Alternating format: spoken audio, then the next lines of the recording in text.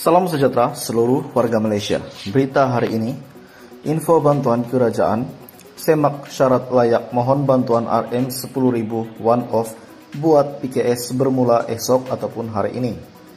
Menerusi Pelan Pemulihan Nasional PPN, Kerajaan Sarawak telah melancarkan bantuan khas Sarawak Kusayang BKSS 7.0 berjumlah lebih RM800 juta bagi memperkasakan aktiviti perusahaan dan perniagaan.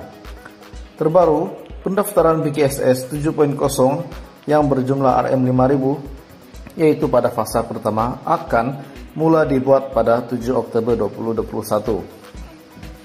Permohonan BKSS 7.0 peniaga ataupun penjajah ianya akan diberi kepada syarikat-syarikat di bawah perusahaan kecil dan sederhana yang aktif menjalankan aktiviti perusahaan dan perniagaan dan berdaftar dengan perkeso sebelum atau pada 31 Desember 2020. Untuk syarat kelayakan, BKSS 7.0 antara syarat yang telah ditetapkan untuk PKS adalah perniagaan, M semakan, kelayakan, mestilah aktif yang berdaftar dengan SOKSO setakat 31 Desember.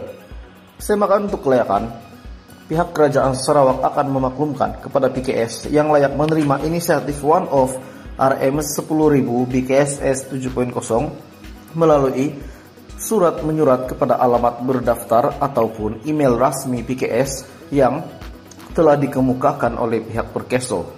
Kerajaan juga akan membuat semak silang dengan beberapa agensi kerajaan bagi memastikan kesahihan maklumat penerima.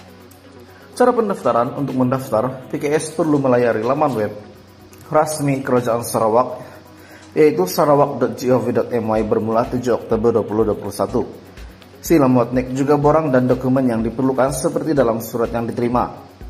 Pemohon perlu mendapatkan Sarawak ID bagi melengkapkan permohonan.